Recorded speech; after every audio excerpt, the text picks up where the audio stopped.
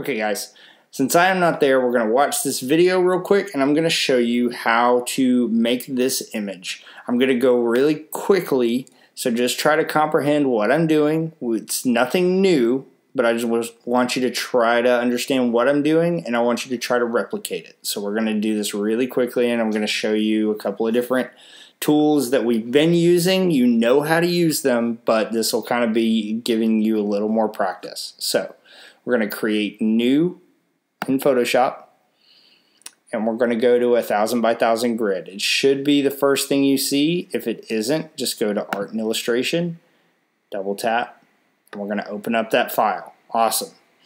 Now, let's unlock the background, okay? And we're going to make that black. So we're going to go here to our color selector, make it black, and then what we can do is we can either hit shift backspace or we can go to our paint bucket tool over here where the gradient tool is. It might already be the paint bucket tool for you and then just click. There it is. Now it's black. So what we want to do now is what we're going to do is we're going to make mountains in a sky. Okay. So we're going to go to create new layer. There's our new layer. We can honestly, you know, you can tap on that and if you wanted to, you could name it mountains.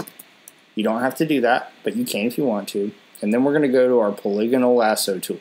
Okay? Boom. And then what we're going to do is make some mountains. So we're just going to make some jaggedy edges here. Okay? Doesn't have to be cra too crazy or it can be as crazy as you want it. Just make sure you have enough time to do it. So then come out past the canvas. We're going to connect the lines in our polygonal lasso tool. Okay? Now we're going to fill this with white. So we're going to come up here and select white. Okay. And we can do the paint bucket tool or again we can hit shift and backspace which will show up the fill icon here and we want to fill with the foreground color because right now our foreground color is white and we hit OK alright and then we still have our ants moving so we're going to hit control D to deselect that alright so, so far you're with me. We've made mountains. Now we're going to make shadows. So we're going to go back to our polygonal tool, polygonal lasso tool, and from the tops of these mountains, we're going to select an area here, okay? And then, yeah. And then just loop it back around. Doesn't have to be like on the mountains precisely or anything like that. It just has to be down the middle.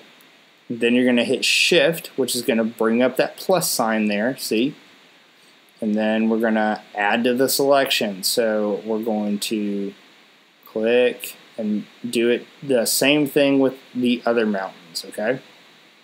And then we're going to come up the middle here and then connect, okay?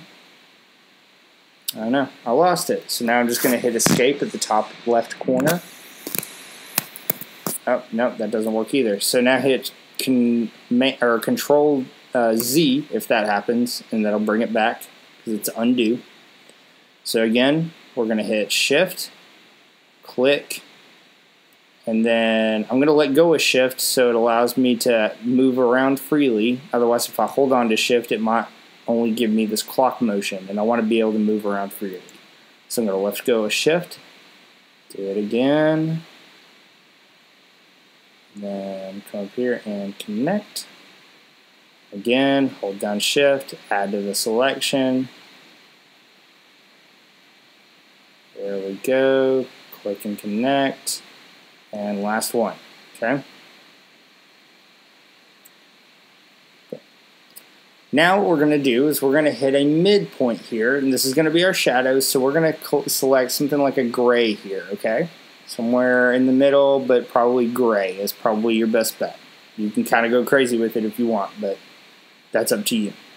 Then you're going to go back to your paint bucket tool, okay? So make sure it's not the gradient tool, but it is the paint bucket tool. And it is going to be filled with the foreground color, which is our gray. And you're going to select someplace inside the mountains here, okay? Don't click out here, click inside the mountains. And then click, boom, now we have shadows. So we're going to hit Control D to get rid of our selection, and voila. Now we have some cool looking mountains. So now all that's left to do is to make a sky.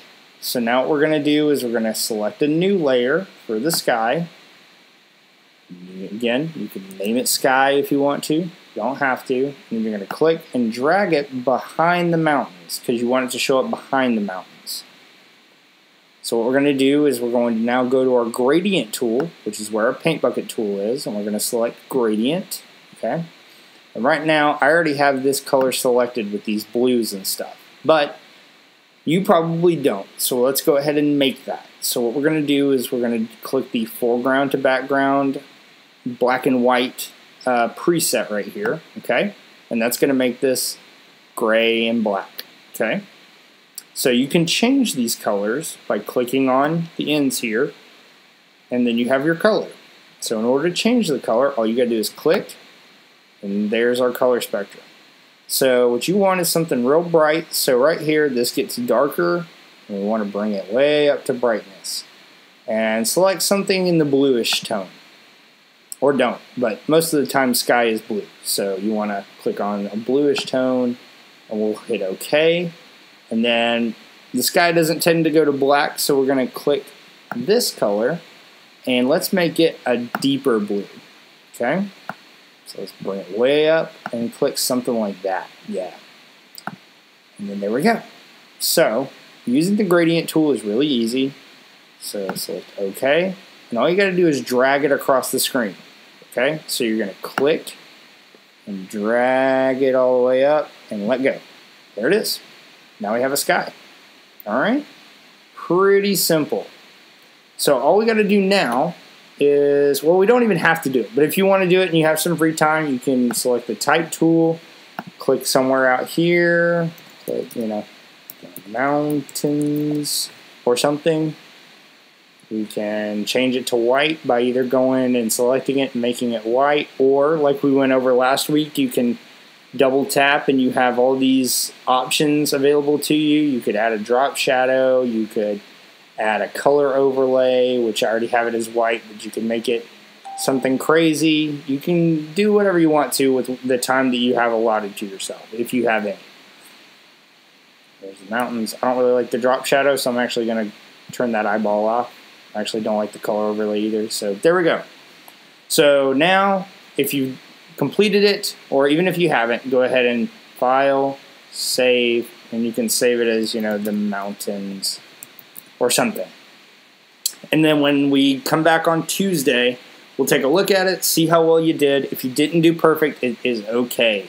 Um, the primary thing is I want you to just practice using these tools and try to get used to learning them. Um, it's okay if you didn't do perfect. It's okay if you didn't fully understand it. Okay, just um, use the time that you have to try to make something awesome and try to do something similar to this so that uh, I have a basis to go off of when I come back on Tuesday. Okay?